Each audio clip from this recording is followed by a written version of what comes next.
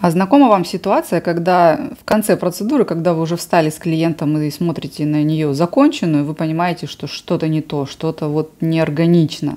И клиент может даже этого не видеть, но вы видите, что волоски на левой и на правой брови лежат несинхронно, то есть они не повторяют друг друга направление слева и справа, и это режет глаз. Вот вам упражнение, которое поможет избежать таких ошибок. Э, на самом деле это просто вам нужно натренировать свой глаз, э, чтобы рисовать правильное направление, вообще в принципе глазомер. А что для этого нужно? А, вы помните, мы уже рисовали с вами а, брови квадратик, в квадратиках такие, в прямоугольниках. Вы можете сделать ровно то же самое, если все еще не освоили идеальную форму. Каждый из этих прямоугольников вы можете замерить его высоту, а, и нарисовать при помощи а, условных линеек, либо вы можете нарисовать это на глаз, что гораздо более а, будет для вас продуктивно, потому что вы просто разовьете эту мышцу, которая у вас до сих пор не работала.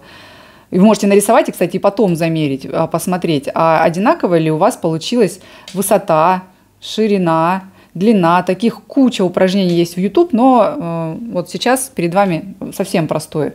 Эти прямоугольники вы делите на глаз, тоже напополам, потом можете тоже замерить. И на три части, как мы с вами делали уже в одном из заданий. Прорисовывайте бровь. Э, нарисуйте сначала сложную. Сложная бровь обычно, как и на лице, когда вы рисуете эскиз, это та, которая неудобно рисуется. То есть обычно это вот эта бровь клиента, э, прорисуйте вот эти линии правильно, точно. Вы можете поставить для себя, кстати, точки а, там, где будет заканчиваться эта бровь и начинаться. И потом отзеркалите в другую сторону.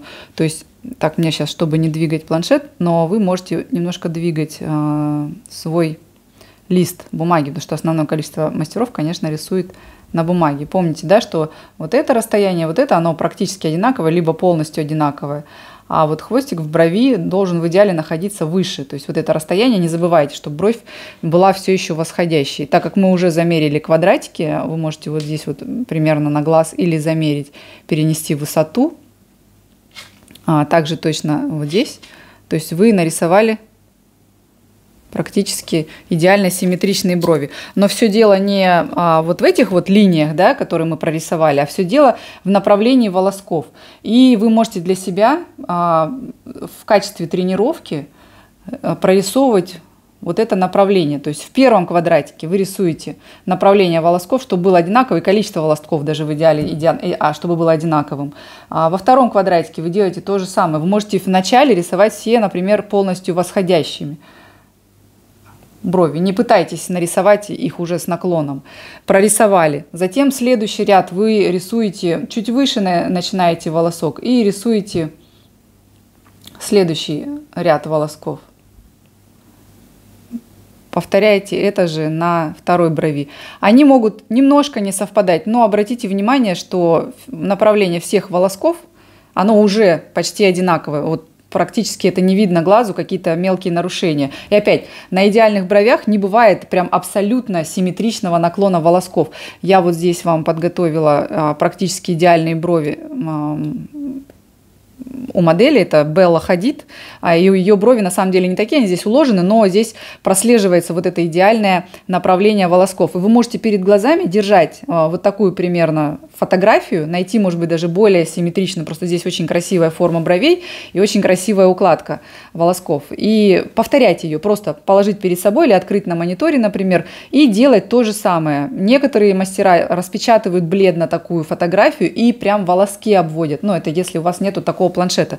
Если вдруг вы разоритесь на планшет, это очень круто для мастера, потому что вы можете тренировать свои навыки, оттачивать их постоянно, рисовать постоянно, и это очень интересно то вот планшет, Procreate программа, скачивайте и наслаждайтесь. И вот у вас перед вами на мониторе эта фотография, а, и вы просто-напросто срисовываете волоски, которые перед вами. А, если у вас нет вообще ничего под рукой, то рисуйте вот так, как я сейчас показываю.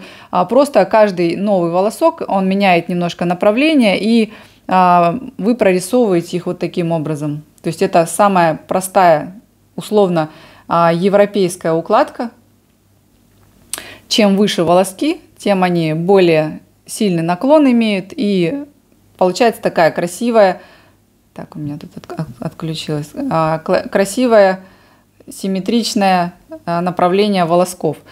Отрисовали вот такое примерно, да, потом вы берете и, например, выделяете некоторые связки, которые вам особенно понравились, да, допустим, там вот это, соединение волосков, чтобы получалось.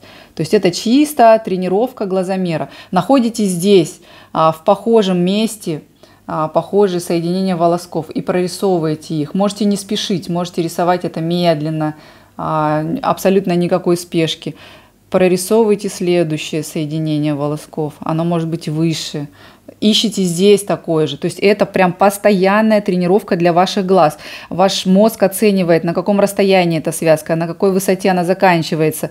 И это как, э, когда вы идете в спортзал, приходите туда абсолютно неподготовленным, видите очень красивых спортивных людей и понимаете, что за один день вы такой не станете. Там же вы это понимаете. А многие мастера начинают рисовать волоски в э, татуаже, понимает, что таких высот, как единичные мастера в мире, которые делают э, волосковый метод и делают это красиво, у них никогда не получится и бросают это, или делают вот эти вот условные, абсолютно повторяющиеся какие-то такие э, схемы с закругленными вот этими связками, от которых мы будем пытаться уйти на курсе онлайн мастер э, плюс сарафан. Смотрите, здесь по клеточкам видно, что вот эта связка находится вот примерно вот здесь, да, я ищу здесь похожую связку и обвожу ее. То есть э, смысл в том, чтобы они находились примерно в одном расстоянии. Вот сюда она у меня продляется. То же самое я делаю. Потом вы можете усложнять. А, так, вот смотрите, вот здесь у меня заканчивается волосок в районе излома. То есть вот, вот примерно вот этот я должна выделить. А, и смысл именно в том, чтобы вы не вертели всяко разно бровь, а рисовали направление и в эту сторону, так, и в эту сторону. И именно глазами оценивали нахождение вот этих вот связок, которые у вас получаются. Мы сейчас не говорим о том, чтобы у вас было прям супер правильное соединение волосков или а, что-то такое. Мы говорим о том, чтобы яркие волоски находились именно там, где они находятся на левой брови, находились там же на правой брови, чтобы наклон был повторен.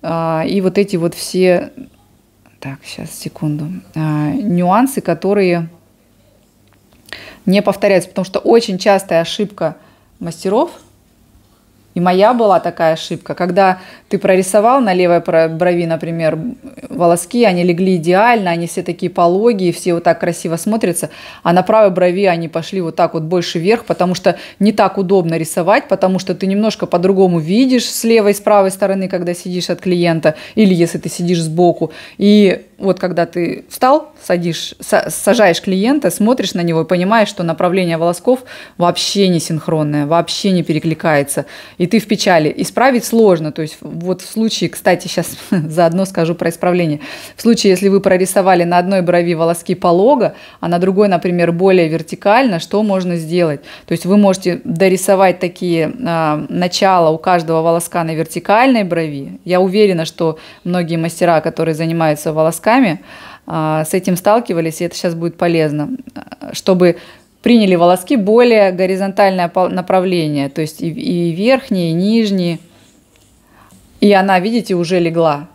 А здесь, наоборот, нарисовать больше вертикальных волосков. И тогда вы исправите положение. Но чтобы этого не допускать, вы просто должны много тренироваться. Кстати, если вот здесь у вас, например, они слишком вертикально, по вашему мнению, идут вверх, Боже, мне, чтобы между микрофоном и камерой лавировать, сложно рисовать. Вы, вы можете прорисовывать какие-то более интересные волоски, повторяя, например, те, которые перед вами. То есть прорисовывать, э, менять наклон. И все это делать осознанно, все это делать в качестве тренировки и очень часто. И, казалось бы, ничего сложного, вот у меня получилась уже прекрасная бровь, да, она изменила направление. Но для огромного количества мастеров это непосильная задача, и все это можно решить при помощи тренировок.